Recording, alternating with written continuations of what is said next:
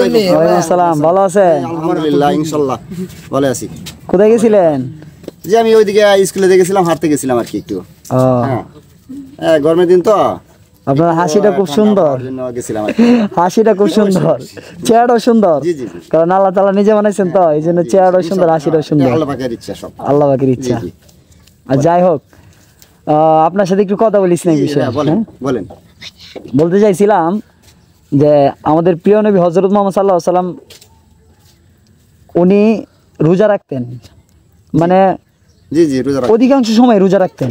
তো এই জায়গা থেকে সপ্তাহে উনি কয়টা রোজা রাখতেন?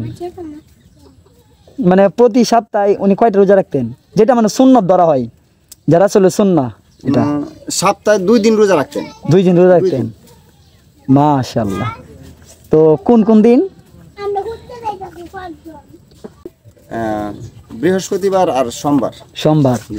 তো আপনি কোথায় থেকে শিখছেন এটা? আমি শিখছি মুক্তবে যখন আমরা ছোটবেলা ওই যে কায়দা সিফারা পড়তে কাজে পড়তেন তখন হুজুরা তখন দিত। হুজুরা এগুলো আমাদেরকে বয়ান শোনাইতেন আর কি। তখন কিন্তু যে আমরা থেকে শিখছি। রোজা রাখতে হয়।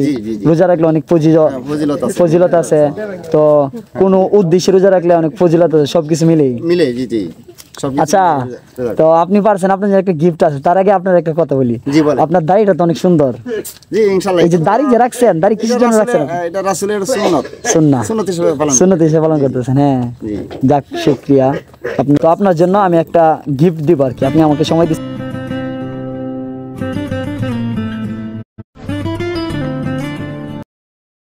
দোয়া রাখবেন আমার জন্য হ্যাঁ? ইনশাআল্লাহ আচ্ছা ঠিক আছে। আচ্ছা বিদায় নিলাম। আসসালামু আলাইকুম। আচ্ছা আল্লাহ হাফেজ। আল্লাহ